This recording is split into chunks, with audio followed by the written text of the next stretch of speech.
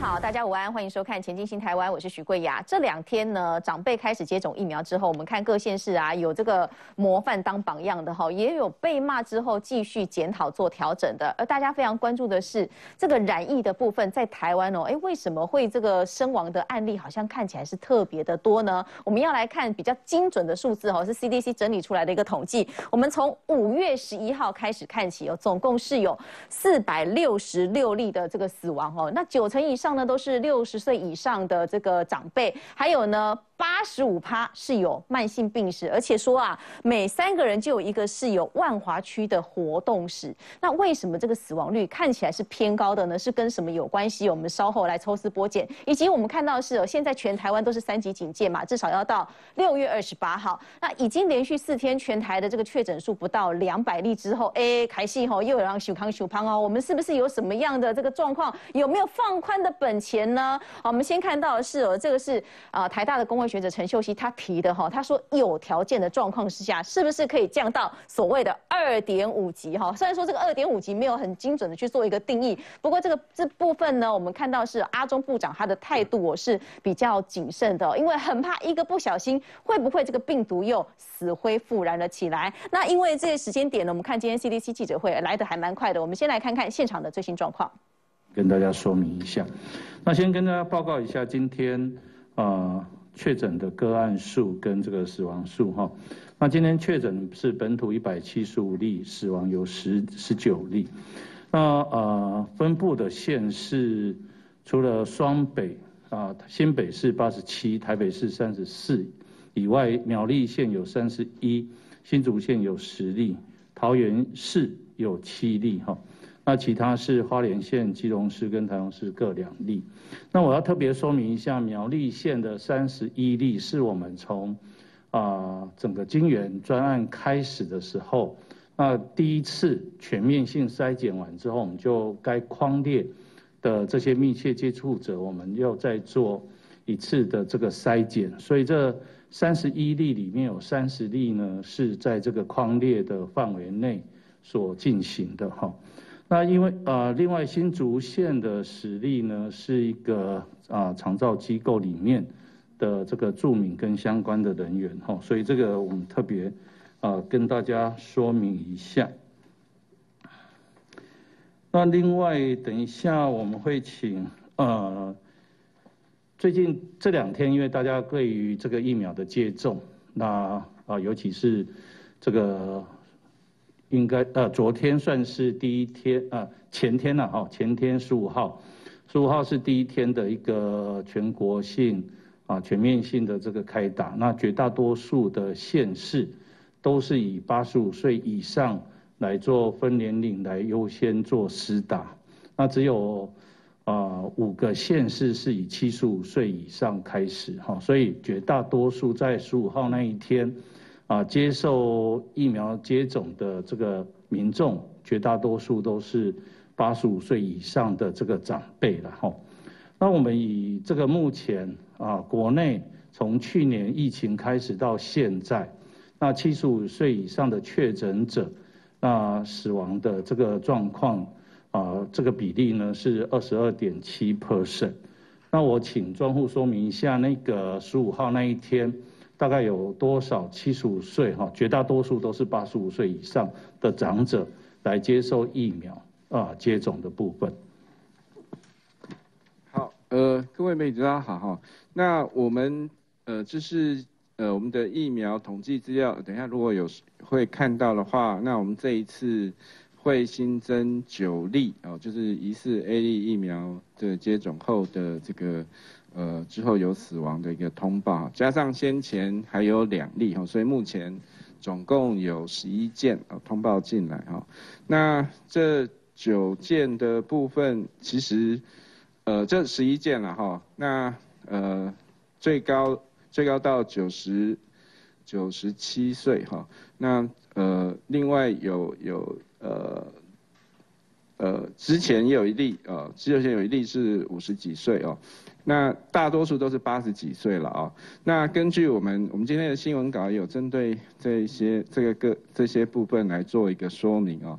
也就是说，在我们大规模的接疫苗接种的初期，其实我们观察到，呃，不管在英国、日本啊，或韩国这边，那如果一开始是以这个年纪大的一个对长者来接种，那因为他有潜在的疾病哦，所以通常类似这样呃疫苗接种后通报死亡的案件会的数量，呃。通常就会增加哦。那通常我们如何去判断像类似这样的一个呃离心这样的一个死因？那主要都是借由呃回顾病例资料或是解剖来来厘清哈。那来调查这些事件是不是跟疫苗相关？那另外我们也可以利用所谓的呃。持续性的一个监测，我们的自然死亡率来看哦，那呃，比如说我们透过一百零九年我们的人口的统计资料，那七十五岁以上的年终人口是一百四十三万，那同年度七十五岁以上死亡人数是九万五千人，那可以得知就是在没有接种。这个疫苗状况之下，那预期每天大概都有两百多位的七十五岁以上长者死亡哦。那呃，所以到目前为止，我们总国内总共呃有一百一十三万左右的民众接种 A D 的一个 COVID-19 的疫苗，那其中是有十七万左右的是七十五岁以上的长者哦。所以根据我们呃目前的一个不良事件的通报系统，现在已经。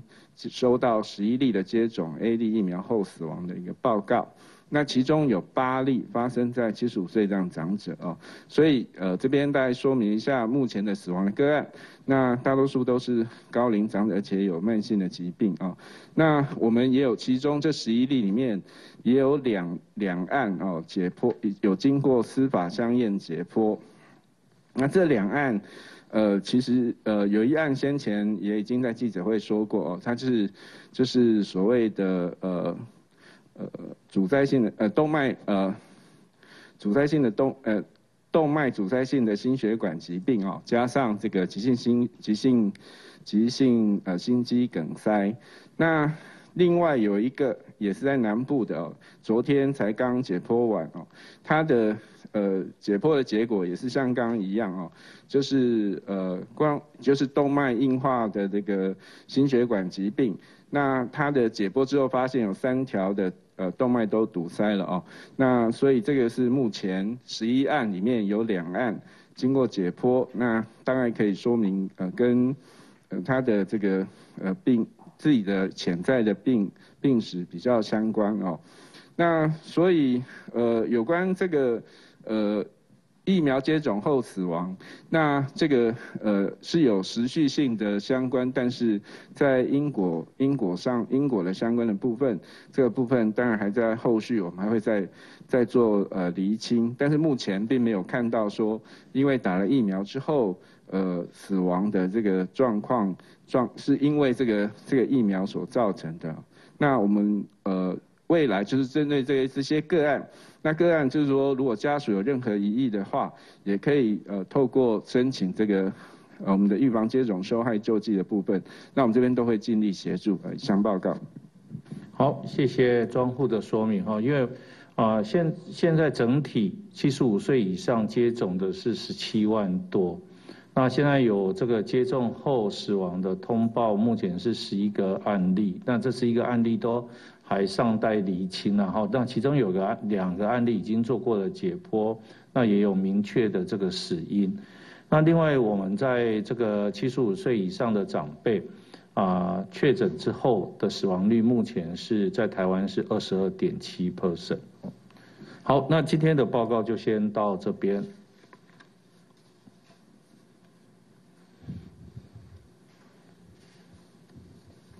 想先确认一下，昨天部长说的意思是，如果郭董他可以取得上海复兴的 BNT 疫苗授权书，是不是就能够办理进来？那另外，如果是的话，只要未来产地不是大陆，然后是在德国上飞机就行，是这个意思吗？那另外一个问题是，现在因为两岸碍于法规没有办法进口大陆的疫苗，那防疫学会的理事长王任贤就认为说，这样的法规不合时宜，请问怎么看？谢谢。那我先请庄户说明一下。呃，有关刚刚说的这个部分，呃，应该没有说，呃，就说是不是像您刚刚说的，呃，那个要件都可以啦？那这个部分呃，应该是没有没有说直接的这样回复啦。那有关这个部分，我们当然就是呃，是是他最后的一个状况，来来来协助协助这个呃红海这边的一个申请。第二个，哎，第二个问题是，刚。T V B S 第二个问题是哦，就是现在两岸碍于法规的问题，所以没有办法进口在大陆生产的疫苗。那防疫学会的理事长王任贤就认为说，这样子的法规是不合时宜。我们想请问怎么看？呃，这两岸的相关条例是在当时所定定哈，就是两岸啊订定两岸条例的时候所定定下来的。那啊相关的法规是不是当或是不是要去做修改？我想啊，当然啊。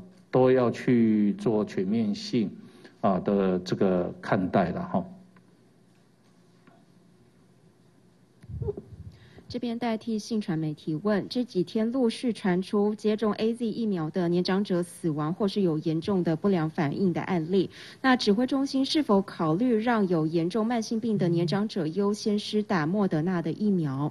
第二题也是信传媒提问：日前一名台湾的旅客入境澳门，那 P C R 是阴性，但是血清抗体是阳性，那沈富雄建议说，现在应该在万华做血清检测，了解有多少比。力的人曾经感染过，对未来防疫有很大的帮助。请问指挥中心是否考虑过？谢谢。好，来。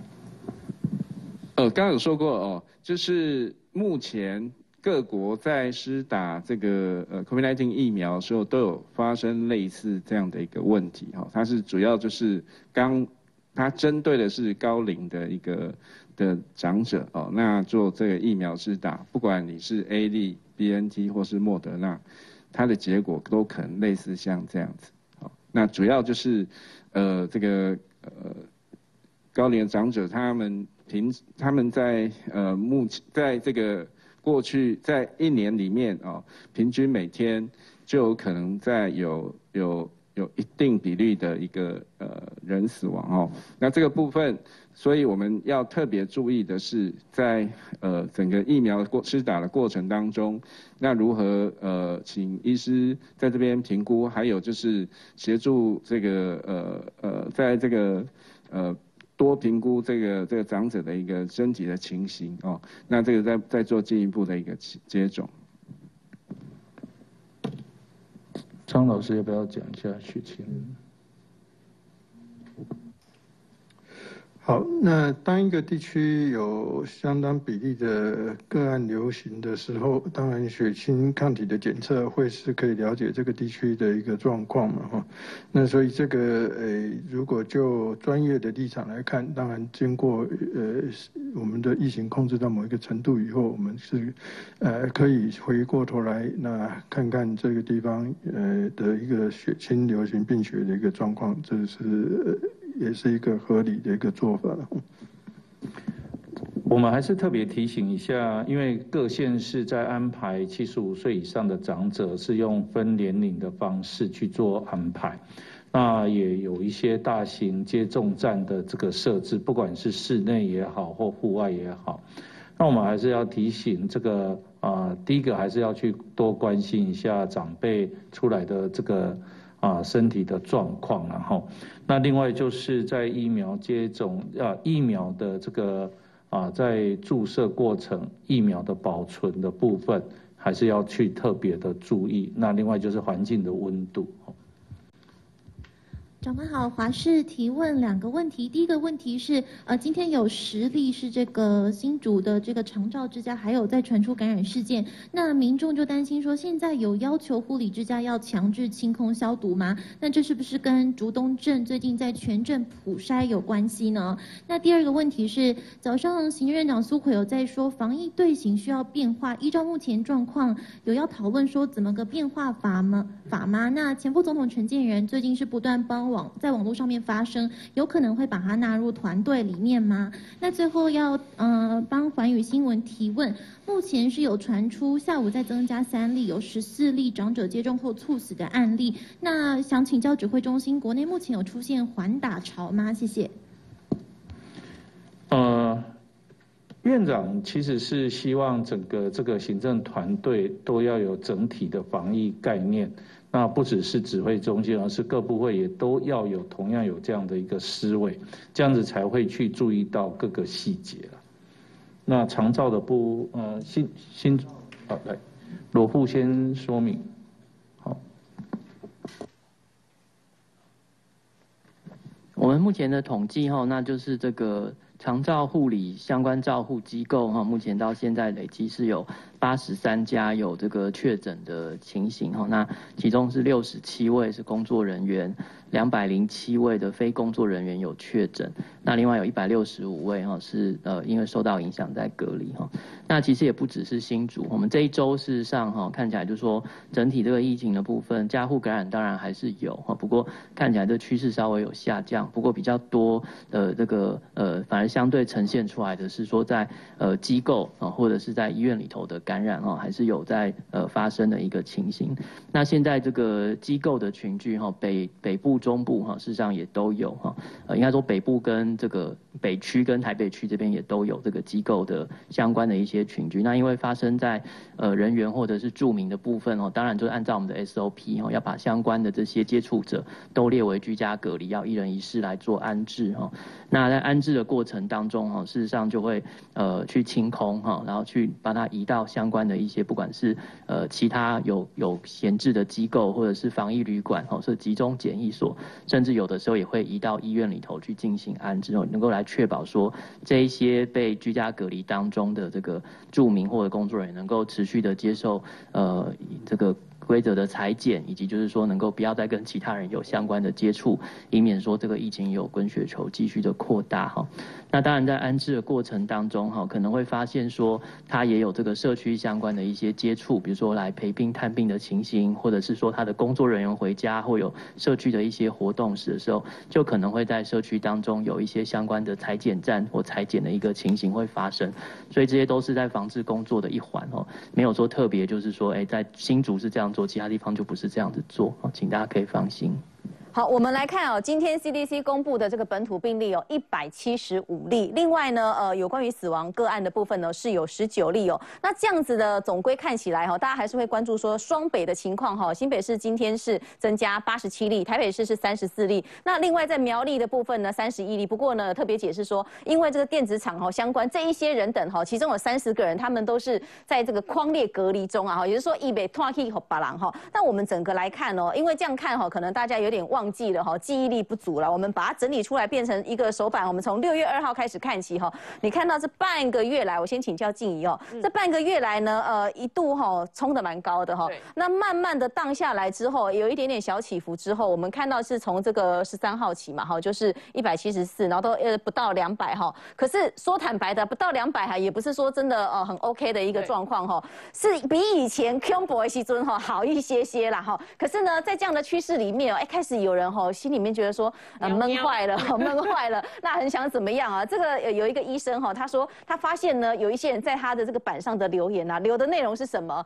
哎，差不多哈，暑假的时候我要来顶民宿啊，我要都来切头啊，哦，那个心态是大家已经觉得这一百多感觉上好像可以比较松一点，真的可以比较松吗？来静怡，我先讲哦，暑假的时候能不能去民宿玩？我订民宿然后到处去玩，我觉得没有那么乐观。嗯。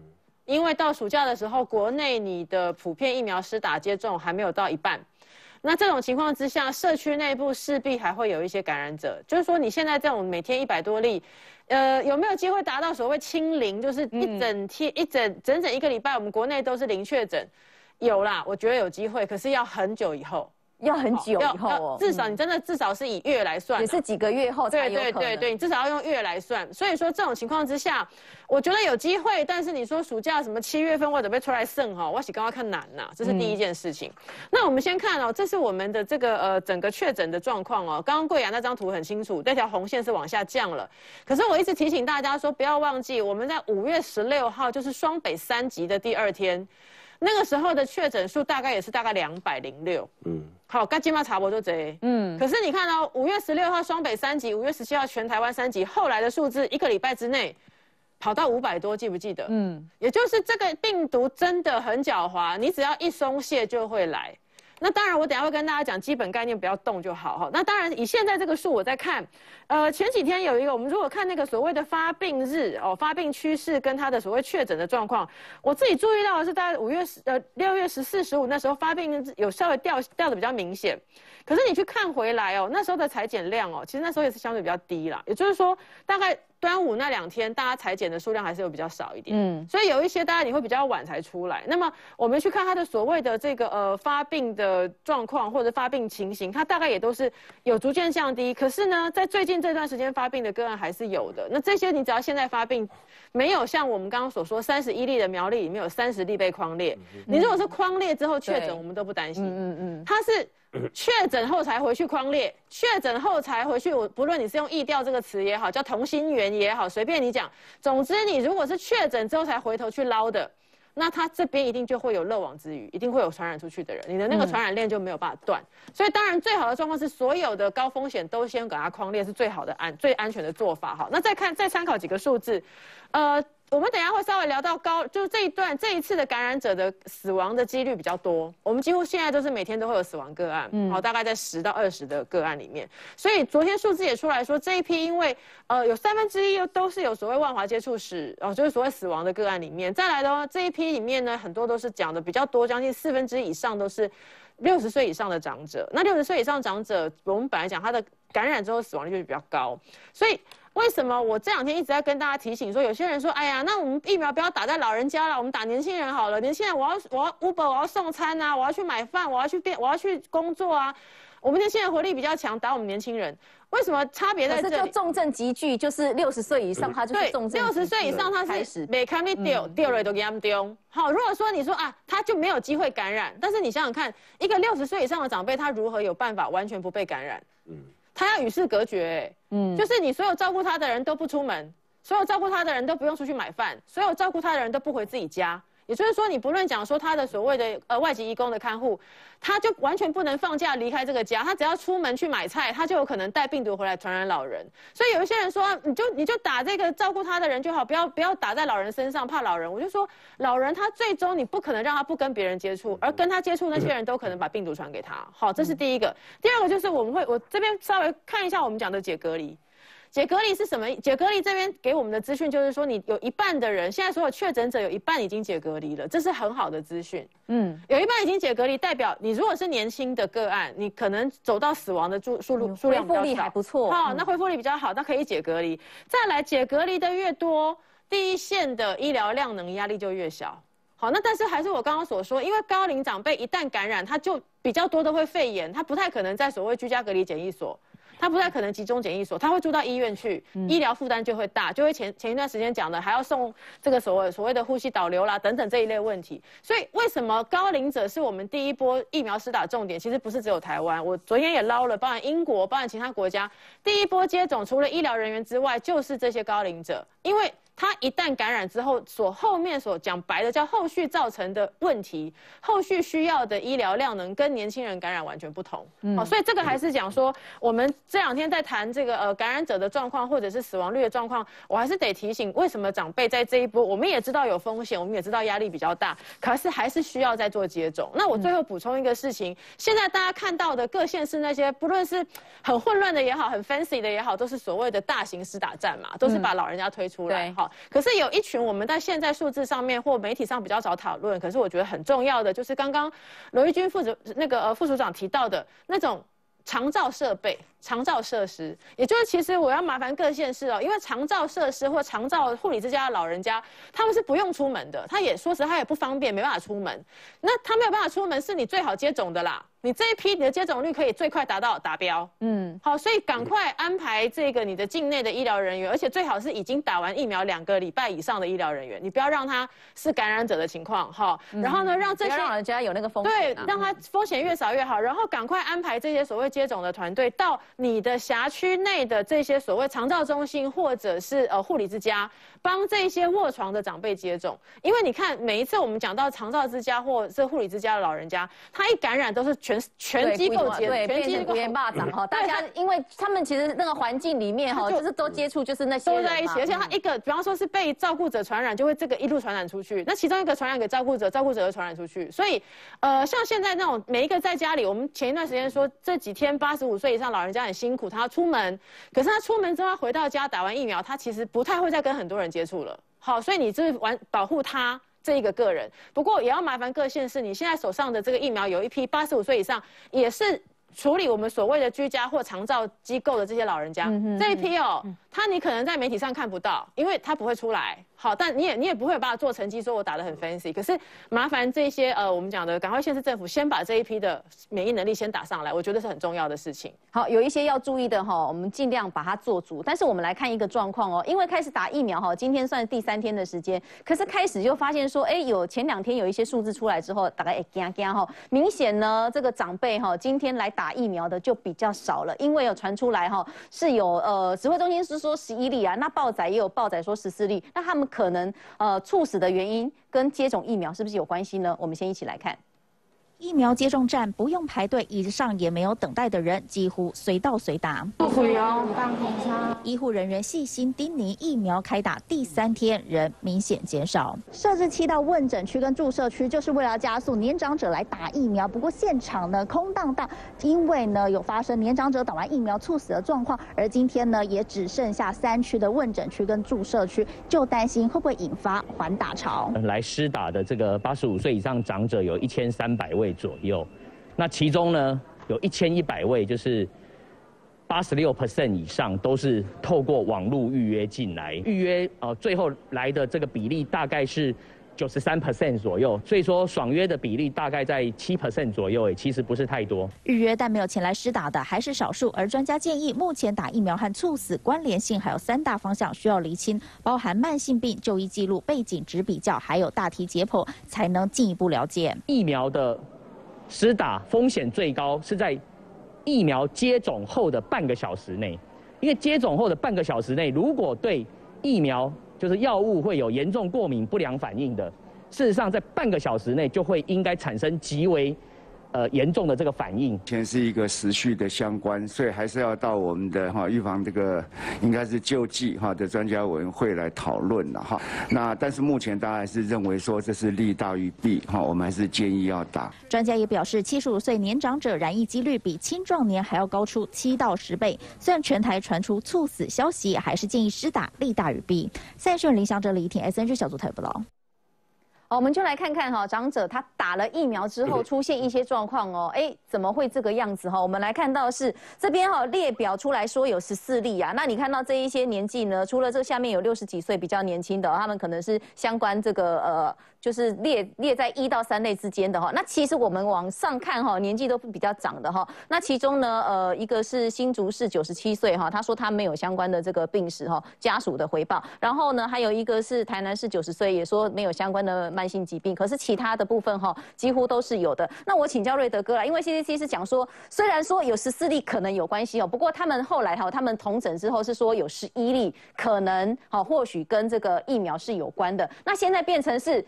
啊，我的喜多郎，我长辈哈，我八十五岁啊，那我到底是要去打还是不打？阿中部长是讲说打的利是大于弊，可是现在变成是一个心理因素哦，会有一些影响。瑞德哥怎么看？嗯，我觉得从今天施打的刚刚看到的那个场面，你可以发现呢，确实有受到部分的心理影响啊。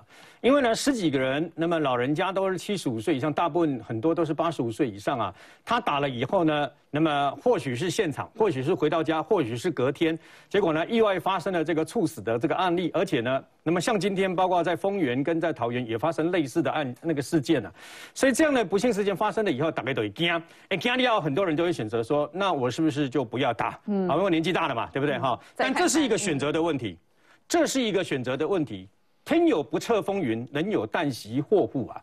所以为什么这样讲？你要知道，那么在我们你你你看今天的数字哦，今天的看的数字是确诊一百七十五，死亡十九，还是有十几个人死亡啊！而且呢，在死亡的这个比例里面呢，那么七八十岁以上的老人家还是占了一定的这个比例。也就是说，他如果万一你在这个年纪以上呢，那么确诊的话，你的死亡率确实是非常高的。远比你打疫苗的死亡率高上好几十倍啊！所以你这是个自己去抉择了。为什么这样讲？你知道吗？去年为止啊，截至去年的统计为止啊，七十五岁以上一百四十三万。去年七十五岁以上在台湾死亡的人数是九万五千三百六十七人。这个就是为什么李冰宇医师说，一天其实都不用打疫苗，就有两百多个人去世。嗯，哦，你很什么都不用做。什么都不用做，就有两百多个人去世。就是社会平均的背景对，这个没有办法的。为什么？因为这是个老人化的社会嘛。那至于你说打疫苗，哎，现在不是很多人啊，尤其是啊国民党啦，还是一些这个等于说啊泛蓝支持者啦，然后这个韩粉一直在吹捧的辉瑞 BNT 疫苗有没有？嗯，不是最棒棒的吗？不是最好的吗？什么给老人家最好最打最好吗？你知不知道日本施打辉瑞疫苗啊？到目前截至目前为止，打完疫苗以后死亡人数是一百九十六人。可是问题是不能说一百九十六人都是因为打疫苗死的，而是他打完疫苗以后死。为什么？他就算不打疫苗，每天日本的，因为他老人家老人社会更比我们更严重嘛。然后呢，他的老人更多嘛，所以他的死亡人数一定比我们更多。可问题是，那如果只是单纯这样告诉你说，啊，打了一个辉瑞，结果就死了一百九十六人，那很多人是不是不敢去打辉瑞了？更不要讲科兴嘛，科兴在香港打死了二十几个人，打了以后也是打了以后啊，然后呢，全世界目前统计为止啊，我看了一下，因为中国没有公布它实际的这个资料，所以中国例外的话除外的话，全世界死了大概六七十个人呐，打完科兴以后，那么所以这个是一个选择的问题啊，因为没有人能够告诉你说。解剖完以后，然后呢，呃，根据什么什么跟疫苗是有直接的这个关系等等啦。但是我只是告诉大家，就是说，那么就像静怡医师所讲的，你不要忘记一件事，有的老人家会很天真的认为，我买去怕，反正我七倍再回，对吧？哈，然后呢，我就躲在家里，躲在家里总不会有事吧？你忘了你的家人还会回来，来来进进出出，你就算行动不方便，比如说你请的应佣啦、外劳啊等等啊，看护啦。他还是会进进出出，他会去倒垃圾，他会去买东西干什么的嘛？然后呢，紧接着你永远都没有办法说一个人轰起来，没有一个人可以真的一个人闭关修炼，然后都没有跟任何人接触。你总要讲明家吧，对吧？哈。然后呢，所以呢，事实上呢，这是一个选择的问题。我举个最简单例子啦，我有四个姐姐，那么其中有三个本来说他他们都不要去打，因为欧洲都去过了，那个美国都去过，哪里都去过，好，所以说不要出国了，心愿已了。哎，我不要出国了嘛，没有关系嘛。啊！结果我这几我昨天打晚上打电话给我给他们，他们说，呃，我们现在现在正在选择以后可以打的时候要打哪一哪一种，你知道吗？为什么？这是你的选择嘛。不过，呃，刚刚这个静怡是泼了大家冷水，不过那个是非常实际的。为什么呢？嗯，不要想着现在就要到处去玩，闷了一个月了，刚好一个月。我昨天在睡梦中惊醒，因为我梦到我带我太太去垦丁玩，你知道吗？那你惊醒的逻辑是什么？惊醒是。我为什么不不？为什么醒来以后我人在床上啊？为什么不是在垦丁啊？惊醒应该是带太连连 连睡觉都啊，还好不是带小三。不过你想想看哦，连在睡觉都会想说，我应该是出现在垦丁啊，啊沙滩阳光比基尼，你知道吗？可问题就在这个地方，如果你不小心一不小心，你为什么看这么几一百七十五啊？你奶仔讲紧急确诊人数是一百七十五啊？很多无症状感染者他可能都没有症状，他年轻人他不会去摔啊。所以大家还是小心为妙，为什么呢？林可忍一时不变，那么也不要让它突然间轰着又起来了。以后，我的天哪，又到了四五百，每天那案例那么多，然后死亡人数二三十的时候，那时候大家悔之晚矣。好，因为瑞德哥告诉我们，就是有梦最美哈。但是现在这个时间点哈，做做梦就好了哈，先不要付诸实现哈。呃，其实医生有告诉我们，现在要心理准备，就是今年的暑假要牺牲，才可以换到之后的寒假之后的暑假，大概当损失出去佚佗。我们休息一下，稍后回来。去年下半年台湾解封后出现报复性旅游，各地景点挤满人潮，饭店一房难求。而今年碰上本土疫情大爆发，三级警戒。观光景点几乎没人，大街也冷清。但现在民众盼望解封，想出游的心藏不住，医师忧虑解封后人潮大规模移动，疫情可能会卷土重来。儿童急诊科医师谢宗学说，他发现不少人期待暑假解封，可以去已经预约好的旅游。不过，即使降为二级警戒，现在台湾疫情跟去年不同，社区极难完全清零，没有报复性出游本钱。还强调必须要有心理准备，只有牺牲今年暑假，才有可能换来孩子回校上课和明年寒暑假出游。因为现在的处境就是如此艰难。目前暑假的预定，有的依旧忍痛拒绝，毕竟呢，健康比赚钱重要。七八月份。是比较没有办法恢复到以前的状况了，也希望大家共挺时间。也有民宿业者说，真的有客人开始要预定八月房间，现在也只能忍痛拒绝，因为先忍耐才能换回正常生活，真的无法再负担任何风险。只要有任何县市现在依然有个案，如果在分区降级的过程当中，比较高警戒级数的县市居民会不会因此而？呃，外移到这些所谓已经开放的这些县市，啊，去游玩或者是饮食，而造成下一波的群聚的一个高峰期，这个我们必须要好好审慎的去评估。医师专家都说，只要社区无法清零，就还是有潜藏个案。如今要出游，恐怕还得再等等。在新闻周冠宇陈奇台北采访到。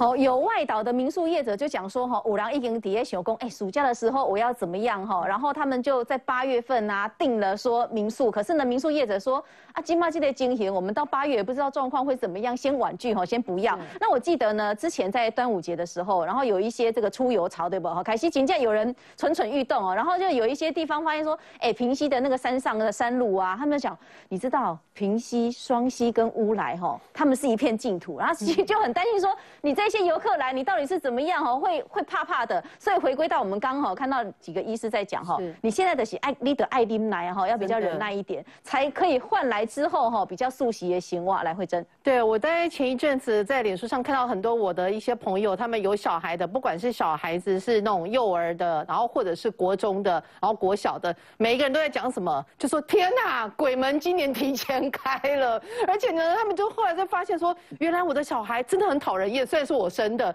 然后呢，有时候我们在讨论说，你到底要打辉瑞啊，打 A Z？他说没有，我想要打，不是打疫苗，我想要打国家幼苗，自己都受不了。所以那我在这种情况之下，你就知道说，为什么大家会忍不住想要去。可是我要奉劝这些爸爸妈妈们，如果你不希望鬼门永远开下去的话，我建议你们今年的暑假最好还是爱琳奶啊。因为我看到有呃同业的朋友哈，他会晒说他现在每天哦，小朋友突然之间哈，他们在家穿着那个羽绒衣，这么热穿。羽绒衣，因为他们假装自己去了北海道，所以其实也可以苦中作乐扮演游戏。那我有看到，就是说有一些那个呃，就阿公阿妈也帮忙带小孩，带到受不了，就给小孩五百块，然后跟他说：“我们现在玩一个游戏，你头靠在那个墙壁上，这五百块不要掉，这 半小时这五百块就是你的。”用这种方式来让小孩子看点看点没哈，半小时不要乱动。尤其在这种情况之下，你就说大家真的很希望可以解封，可是这时候真的不要就是。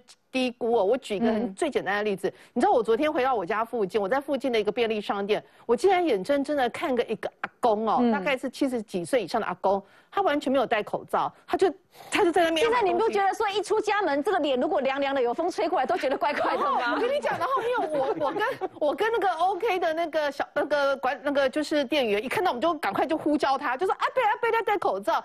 然后阿贝就假装啊啊这样子，然后他是边啊的过程，那还是边买了他要的东西。那我后来真的受不了，我就直接把一个全新的口罩给他，我就跟他说：“阿贝，你要戴口罩。”就阿贝很很夸张，他就把钱丢了，他就走了。嗯，他就不戴口罩。那因为他真的年纪很大，我我们想说我们要不要报警，但后来又想到说，就好像就就算了。可是这个我觉得光是这种状况，你就知道大家越来越有一点。按耐不住，可是这个反而是非常危险的一个情况哦，因为到目前没为止，你看每天都还有一百多例，一百多例，然后在这种情况之下，可以显见它已经降到一个程度，可是还是没有办法达到所谓的社区清零情况。嗯，那在这种情况下，很容易像日本，日本我们都知道，它解封就是先封了一阵子，隔了一两个月解封，解封之后不用一个月又卷土重来，所以日本现在已经进入到第四次的一个警戒的一个状况。我如果我希望我们台湾不要这样的话，我们就一次做到底，完全的做到就是干净了。我们再进行一个相关的活动。那另外一个就是关于有关于老人，就是缓打。现在今天哦传出说，呃高雄那一边，因为他们施打进度比较快，对，竟然有三千名老人预计好像今年就今天就是没有出现哦，本来预约好的就不会出现。那大家会认为说，啊那怎么会这样？其实我当然知道，就是说有一些年纪比较大，尤其他们不是在热区的这个长辈，他会认为说，啊我煮我某煮没代志，我煮了算我五代几快慢弄。话。但是其实要提供给大家知道，刚刚其实指挥中心有特别去讲到，每一天呢，七十五岁以上台湾原本就有一个正常的一个老人家老化或其他因素而过往的一天大概都有两百多例。所以呢，这目前刚刚提到的这个打完之后啊，持续上有一些关系十四例有一些状况的，但不代表这十四例真的就是因为打了疫苗。那就算完全都没有打疫苗这种情况，每一天台湾还是有两百多例的一个老人是正正常情况之下或其他病生病的情情况之下而过往，所以大家真的不要自己吓自己，而错过了这个可以保护自己的机会。呃，CDC 是讲说哈，不要因为这两天的数字安妮的底下惊惊哈，看看英国，英国就是靠提高这个疫苗的涵盖率哈，它很成功的压下了死亡还有重症的个案。那换哥还包括有一个数字，我们看了这个是台大医师王明炬他提供的哈，这个数字呢小数点到很后面了哈，那你一比较你看得很清楚。他说呢，八十岁以上长者哈不打疫苗得到这个呃新冠肺炎死亡率是百分之零点零一七二哈，零点零一，我们这样看了好了。然后呢对比哈。你打疫苗死亡率是百分之零点零四六，一个是零点零一多多多哈，一个是零点零零多多多，你就知道那个差别是怎么样了。我以为医学系的人数学都很好。王明俊副院长这个统计，他的基本上他的分母是不一样的，因为他说，呃，八十五岁以上的老人得新冠肺炎的比例是百分之零点零一七二，他是用全体台湾八十五岁以上的老人去当分母。对不对？然后确诊的当分子得到百分之零点零一七二。问题是，台湾到目前为止，并不是所有八十五岁以上的老人全部都接种了疫苗，所以你只用已接种疫苗的当分母，然后再加上这几天不幸过往的当分子，算出来的比例当然会高啊。这数学要在同一个基础下才能比较嘛。你不能说这个现在我们一般人一个正常的男性。你如果整个人泡在水里面，你要举起大概六十到一百公斤，基本上是相对轻松的。可是你在陆地上，你要举起一百公斤就很辛苦了，不是每个人都像郭幸存这么厉害。所以你不能说在不同的基准去做比较啊。所以我觉得这个，我觉得最近哦，的确，呃，我们的确最近这两天有一些长者在接种完疫苗之后，他往生了。可是。他是不是因为接种疫苗而往生？这个需要做科学跟医学上的认定。可是我觉得我们必须利用这个频道，利用这个节目，很把真相告诉大家，就是说，接种疫苗有没有风险？有。确诊有没有风险？有。那哪一个风险比较高？你刚刚指挥中心讲了，呃，长者得到武汉肺炎的死亡率大概百分之二十二，就接近四分之一哦。那你觉得哪一个风险比较高？那很多很多长辈讲说哦，我都不出门，没有错，你也许没有什么社交生活，除了刚刚前面大家提过说有人会照顾你的家人之外，长辈最常去的地方叫做医院，嗯嗯，你会不会去医院？你会去医院就有被感染的风险，也你就算你身边所有的人，跟你同住的家人照顾你的人，通通都打了疫苗，可是当你去医院的时候，你没办法确认所有医院的人都打过疫苗啊。所以我觉得，呃，长辈基本上了哈，我会给大家一个建议，就是说，如果你平常是有慢性病、有固定在看医师的，那你就请教你的主治医师说，哎，我这个情况可不可以打疫苗？还有，有些长辈哦，开来屏住，我们在接种前不是都会有医师帮你做评估吗？对啊，问你说身体状况如何？对啊，你讲我我让就后悔，我让就后悔，结果苦辛苦转背。所以，医师在评估的时候，你就要老实的告诉他。哦，老实的告诉他，甚至我觉得，你如果平常知道你在用什么药的话，你就把那个药单抄下来给医生看，说我平常有在吃这些药。做判断。对，医生他有专业的判断，就基本上你告诉他的讯息越多，他可以给你越正确的判断。所以我还是鼓励了，就是说，呃，接种疫苗是保护自己的一个方法。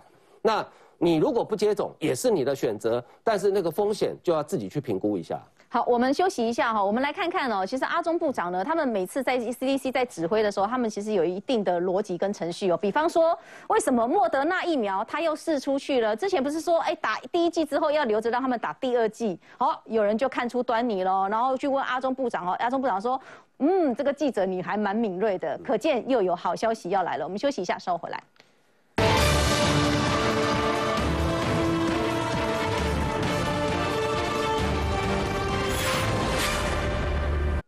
好，有关于莫德纳疫苗，哎，是不是真的有下一批要来了？你要看看 CDC，它是有节奏的哈。CDC 说，哎，我们前面呢先第一批哈，火力组，但是注料哦，对，第二季的部分，我们先把一半扣下来。可是现在又开始要配送了，这是什么样的讯号？你不要忘记，那么阿中部长的个性比较保守，所以当十五万剂的这个莫德纳来的时候呢，他是不是先把其中一批，然后拨给第一类的医护人员哦，还第一类医护人员啊，包括怀孕的孕妇啦等等啦，啊，非常非常的小心控管。那他曾经有两次的发言说啊，其他的莫德纳呢，那么没有发出去的，呃，即将作为这第一批出去的人的第二剂。嗯，他突然间为什么那么大方？明天就要把其他的全部都发出去，只有一个理由解释嘛，对不对？绝对不可能是说，哎，因为好像打的人没那么踊跃，所以就把他弄出去，不可能嘛。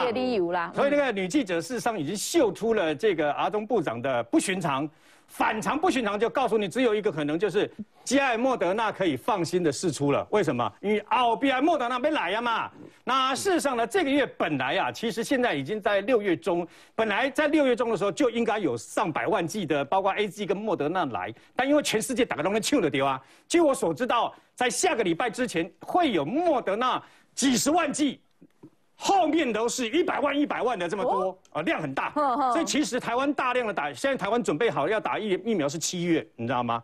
因为你七月的时候会不会大量大量的来，对不对？不管你是莫德纳呢，不管你是美国，美国七十五万剂，呃，有可能随时会来。但那七十五万剂很可能是交生，啊，就打一剂就搞交生了。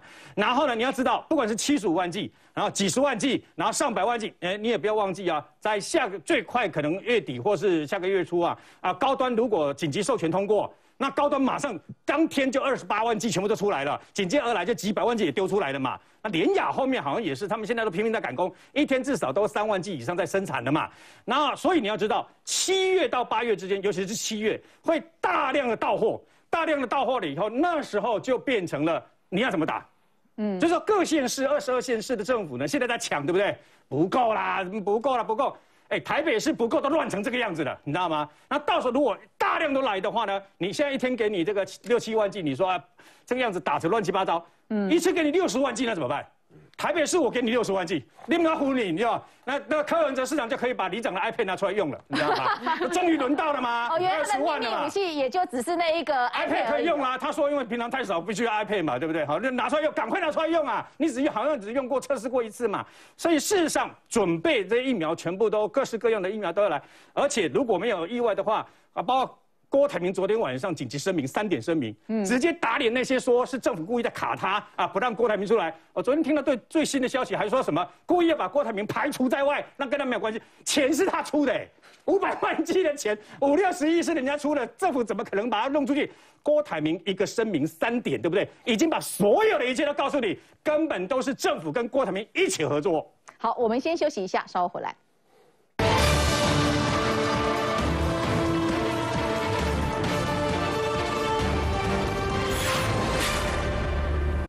在民间要买疫苗的这个事情上面，国民党常常借题发挥，啊骂政府，你们在卡郭台铭买 B N T 疫苗。今天我们看到的是前总统马英九，他在脸书上面，哎，他又很活跃，他在批的是说，政府你不要因为意识形态刻意刁难或者是封杀，但是哈，你听别人讲，你不如听郭董怎么讲嘛哈。呃，红海的创办人郭台铭呢，我形容他的心情哦，叫做半夜睡不着觉，把心情抛上网，他就抛在他的脸书上面，真的是三更半夜，他怎么样？他说：“我特别感谢阿中部长打电话给他。那部长说什么呢？部长说会全力的协助。部长都这样讲了哈，答应他。所以现在国民党在吵说哦，有人在卡郭董，那你会觉得是 CDC 吗？绝对不是嘛。好，我们先休息五秒钟，稍后回到节目现场。”